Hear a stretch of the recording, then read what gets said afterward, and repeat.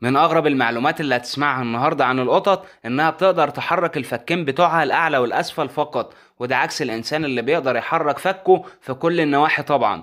بيقولك كمان إن القطط بتقضي 70% من حياتها في النوم فقط وده السبب اللي بيخلي ناس كتير تربيها في المنازل عن باقي الحيوانات التانية. أما فوائدها فهي بتقلل من نسبة الإصابة بالسكتة القلبية للناس اللي بتربيهم.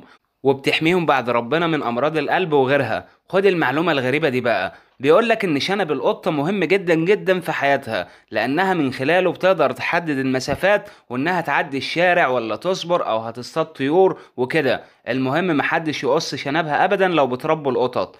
بيقول لك كمان إن المصريين القدماء أجدادنا الفراعنة كانوا بيعشقوا القطط جدا لدرجة إن لما قط فيهم بيموت بيحزنوا عليه أيام وبيقعدوا بقى من غير أكل ولا شرب ومنهم اللي بيقص أو بيحلق شعر حواجبه. ما تفهمش يعني هي فرد من أفراد العيلة ولا إيه الحكاية؟ آخر معلومتين سريعا إن السمك الني لما القطط بتاكله بيخليها عصبية جدا فبلاش تضايقها في الوقت ده.